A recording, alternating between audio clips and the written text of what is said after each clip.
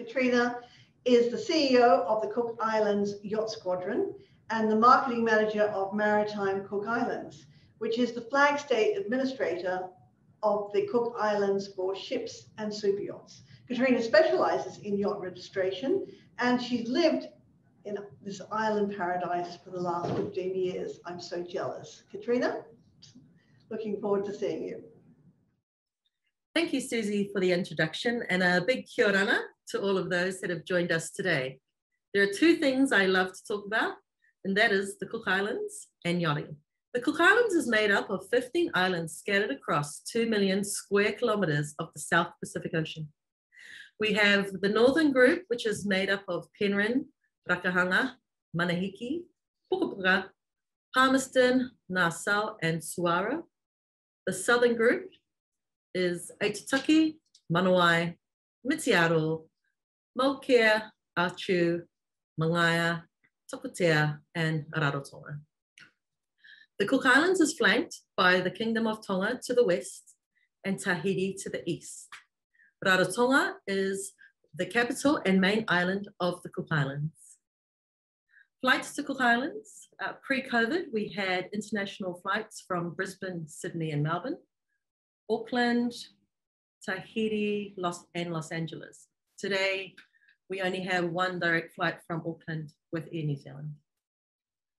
Some facts about the Cook Islands. Cook Islanders are New Zealand passport holders. The Cook Islands is a self-governing country and free association with New Zealand and is a part of the realm of New Zealand. As such, Cook Islanders are New Zealand citizens. We deal in New Zealand currency, um, our first language is English, but native language is Island Māori. The total population of the Islands is 17,000 people. The Islands economy is based primarily on tourism with over 150,000 visitors per year. The Cook Islands is COVID free and we have not had a case to date, which is something we're very proud of. Uh, New Zealand has opened the bubble to Cook Islanders to enter New Zealand without having to quarantine. Cook Islanders and New Zealanders um, have set a date for the 1st of May 2021 to open up the bubble uh, for New Zealanders to enter the Cook Islands and New Zealand without having to quarantine. Unfortunately, this does not extend to our seaports. The date set for the sea borders is May 2022. Rarotonga. This is my homeland. This is where I live. It's a beautiful place to be. Uh, Rarotonga is a volcanic island that stands 4,500 meters above the ocean floor. The island has a population of 10,649 people. Uh, it's 30, 32 kilometers around the island. Uh, and we're surrounded by uh, more than 100 meters of reef. We have beautiful sandy white beaches around the island and the lagoon is rich in marine life. Uh, this is Avatiu Harbour. This is our main harbour in Rarotonga. The Island relies heavily on the importation of goods into the island from New Zealand. Uh, max, maximum length um, we can have in the harbour is 118 metres. There is a height restriction of 27 metres for yachts or for any type of boat coming into the harbour as there's a flight path. The man to the right of the screen is our harbour master, John Jesse, and he is your point of contact into the Cook Islands, along with health officials and customs. Um, we have yacht agents in the Cook Islands who I recommend can assist with these services, or agents can be found on our port's website, www.ports.co.ck. Uh, there's draft plans to build a marina in Rarotonga. However, it's not certain when this will happen. Um, and they're going to be looking at building this in Avarua, which is in the main town centre. Uh, this is the draft plan.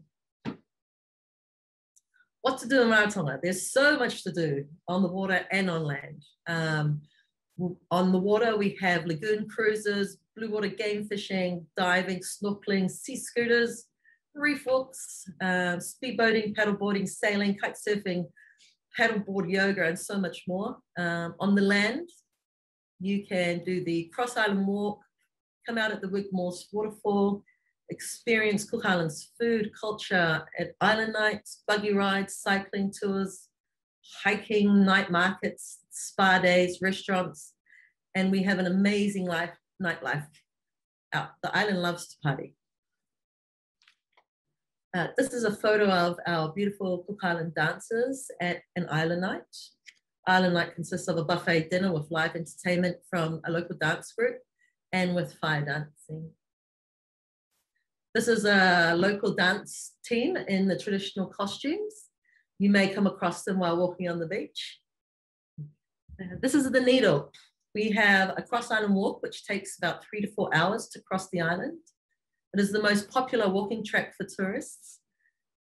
Uh, this picture above shows the needle, which is at the center of the island. Uh, when you finish your walk, you come out to a beautiful waterfall. Um, it's just amazing and a must do. Uh, game fishing, I'm very big on game fishing. My husband has a game fishing charter boat, so I know quite a lot about fishing. Um, so we mainly uh, fish for pelagic species here in Rarotonga.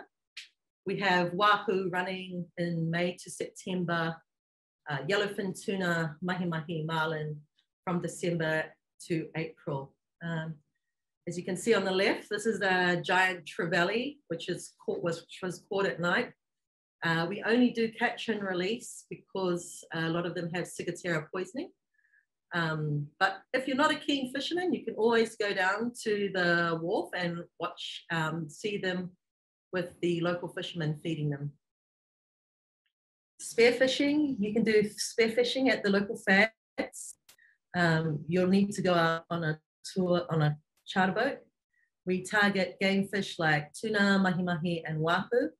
Uh, it's best to bring your bring your own gear as some charters don't provide everything. Turtle tours, this is an amazing experience, which I've just recently done with my family. Um, you can see up to 15 to 20 turtles. Uh, we have a local photographer, Charlotte Piho, who kindly let me use her, her photo, and she does amazing tours and underwater photography. So you take your family, she can do photos, and you get to swim the turtles. It's a really great thing to do. But I do recommend you go with a good guide um, with the passages. Humpback whales, we have humpback whales that migrate to the South Pacific waters from their summer feeding grounds of Australia and New Zealand and the cool Antarctic Ocean, and they like to enjoy coming to the Cook Islands for a few months. They can be seen from July to October, and we have a number of charter boats that will take you out to view them. Aitutaki. Many say this island is where heaven meets earth, and it re really is. It's beautiful. Um, I'll be traveling there uh, tomorrow, so I'm very excited. Um, Aitutaki is a 45 minute flight from Rarotonga. You are able to anchor outside the port if you're coming by yacht. The population is 1,800 and it's 220 kilometers from Rarotonga.